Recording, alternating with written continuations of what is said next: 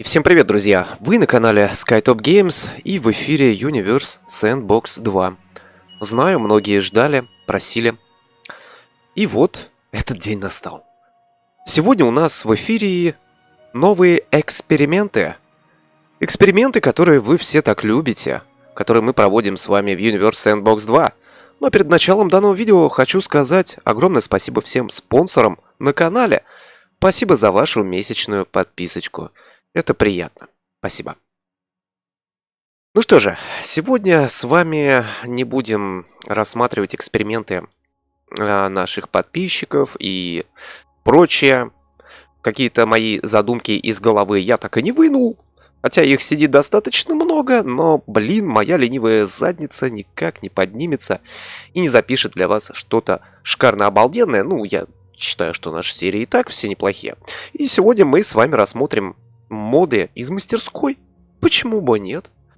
Сразу скажу огромное спасибо всем авторам, которые загрузили эти моды а, в Steam.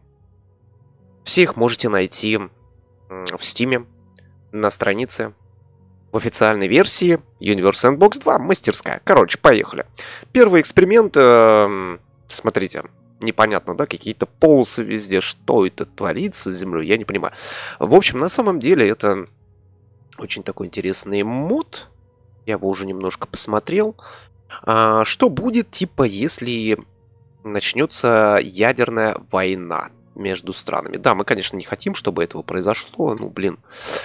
Все-таки все страны, э, все люди мирные, там это самое, да, дружба союзов и все прочее, стран нерушимых, но это был СССР, ладно. В общем, короче, начинаем. Если вдруг начнется ядерная война, посмотрите, это запуск э, различных э, ракет, ядерных сверхдержав. Мы видим американские какие-то ядерные ракеты, бомбы, европейские. Только что-то я вот здесь не вижу российских. Что, Россия спит, что ли? Не успела.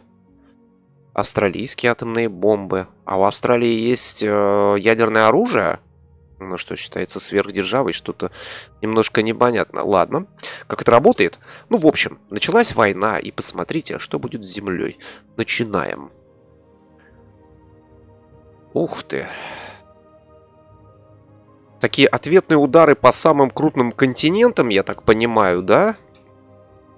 Так, стоп, на паузу. Ставим на паузу, и что-то, по-моему, происходит вообще просто. Это катастрофа, посмотри. Динозавры, наверное, нервно курят в стороне, когда упал Чиксулуп. Сейчас мы посмотрим, что творится с Землей.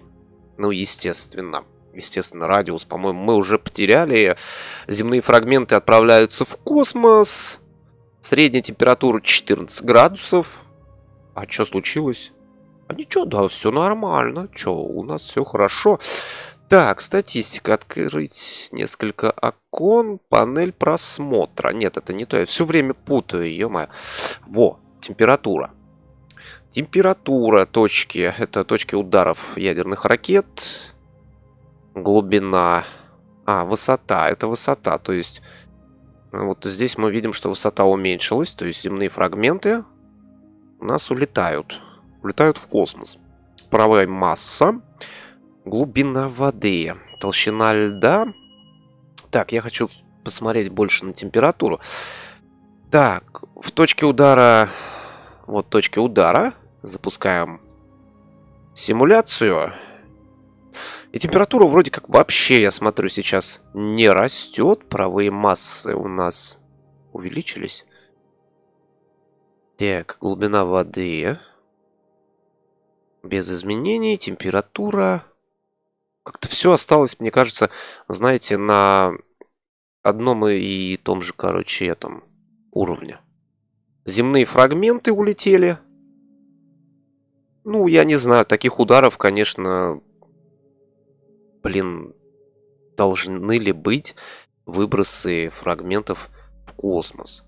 Если, конечно, только не какой-нибудь огромный астероид упадет. Хотя... Хотя я не знаю, возможно, ну... Они же не с такой скоростью летят, как э, самые разрушительные астероиды, правильно? Так, ну что же, ладно. симулятор интересно работает. А, немножко увеличим сейчас скорость. Увеличим скорость. И вот, что мы, смотри, что мы видим. Паровые массы у нас вообще прям увеличились. А, так. Угу. Угу. Температура осталась на прежнем уровне.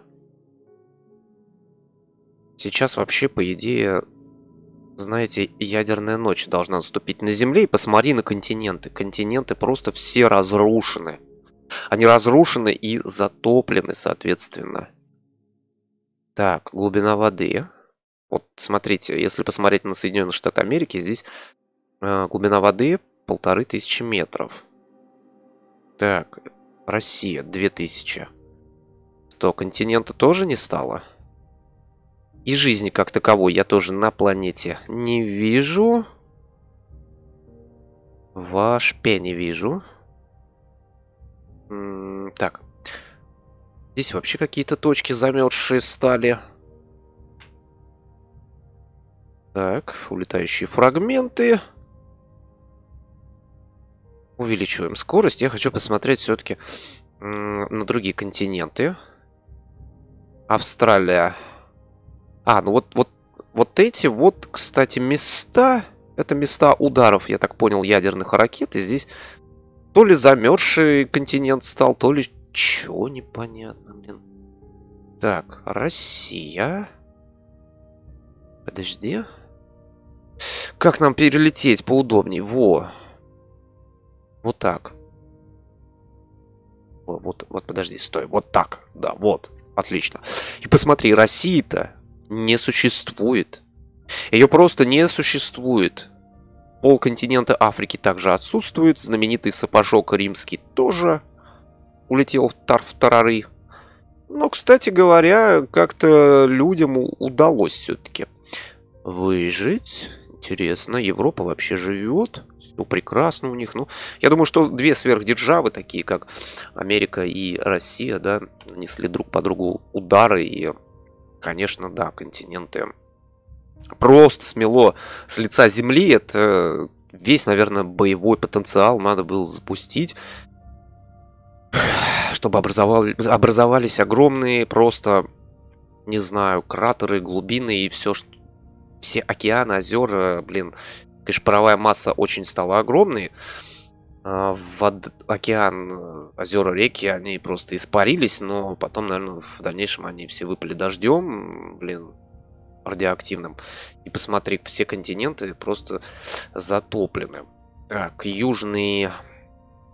Так, это у нас южный полюс, северный полюс, простите, южный полюс.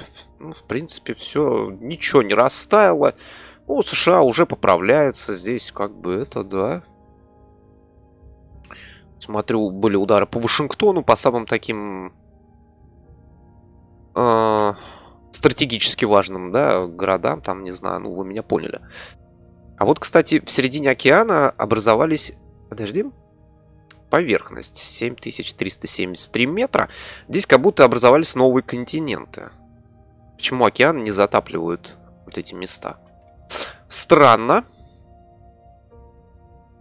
Так, а еще хочется посмотреть. Сейчас, подождите, от таких ударов наклон оси Земли или как-то... Э, так, на скорость это повлияло движение. 30 километров в секунду увеличился, увеличилась скорость движения планеты. По-моему, период вращения 23,9. Орбитальный период 356 суток. 365, по-моему, дней в году. 356. Все-таки... Она должна была замедлиться. Как? Так, ладно, подожди. А, редактировать. Наклон оси. Планета Земля. Земля наклонилась, я так понимаю, все-таки. Да, еще сдвинулась на небольшой градус, прям чуть-чуть. Незначительный. Незначительный, я бы сказал. По-моему, да, а нет, все-таки континенты не восстанавливаются. Вот смотри. То, что видишь перемещение воды, то она есть, то ее нету. Это наверное, приливные силы э, Луны все-таки действуют до сих пор. Сейчас мы увеличим, увеличим скорость. И сейчас все просто восстанавливается, я офигею. Ну-ка, подожди, стой, стой, стой, стой, стой, стой. Нет, нет, по-моему, континенты просто не восстанавливаются. Все осталось в разрушенном виде. Но вот здесь, кстати, э, в Евразии у нас жизни вообще нету, не горит свет на этих континентах. То есть жизнь там полностью... Ну, короче, нет человечества, все. США победил каким-то образом, я не знаю. Хотя у России, наверное, больший запас ядерных ракет. В общем, все, короче, ребят, давайте закончим на этом э, наш такой интересный эксперимент мастерской Steam. Всем, кому понравилось, баль, пальчик... Большой пальчик. Большой пальчик вверх, подписочка обязательно на канал. Делитесь видео, подписывайтесь на группу ВКонтакте, все ссылочки в описании. Вот. Все, ребят, до новых экспериментов. Пока.